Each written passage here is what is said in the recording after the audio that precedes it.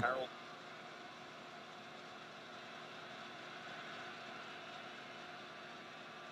Stanford brings pressure. Whedon throws down the middle.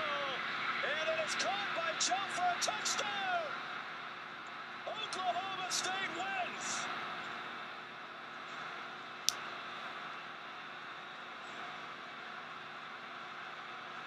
Matt, I would think we might have a review to make sure that Chelf.